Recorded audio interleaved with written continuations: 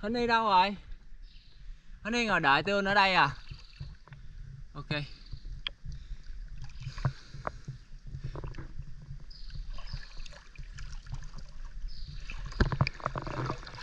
Tưởng là hôm nay không phóng sinh được, ai ngờ cũng chờ đợi.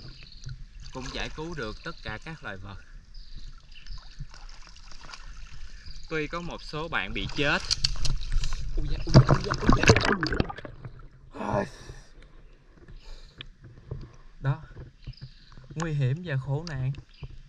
Tự nhiên đi tới đây cây. Một ngày. hey, Té.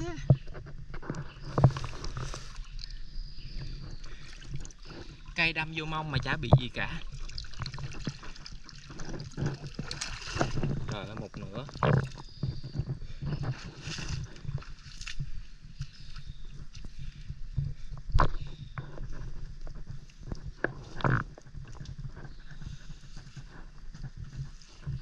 Mấy bạn đi hết rồi.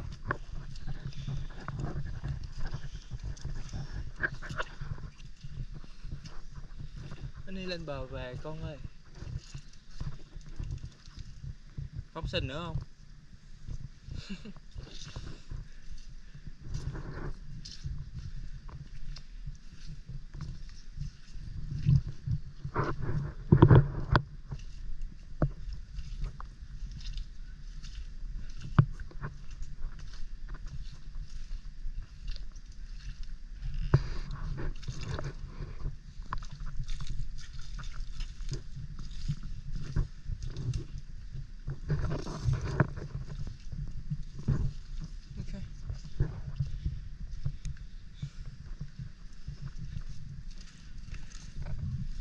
Rồi.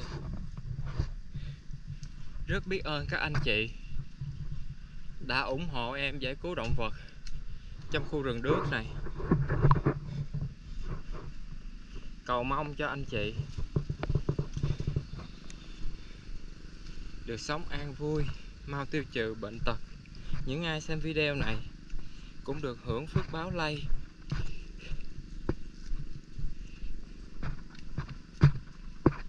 phước báo từ việc giải cứu động vật của em và của các anh chị đã ủng hộ cho em làm được việc này.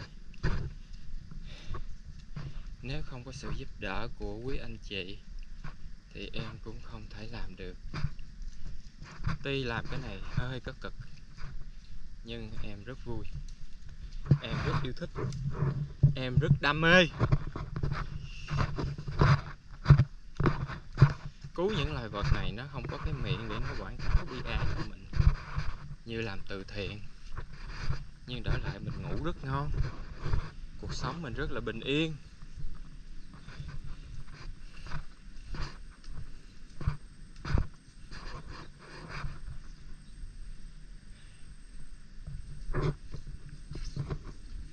Hẹn gặp lại các anh chị vào ngày mai nha tiếp tục phóng sinh giải cứu động vật nha.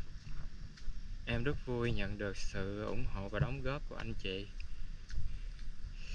Dù là 50 ngàn 10 ngàn 20 ngàn cũng ok. Tất cả đều ok.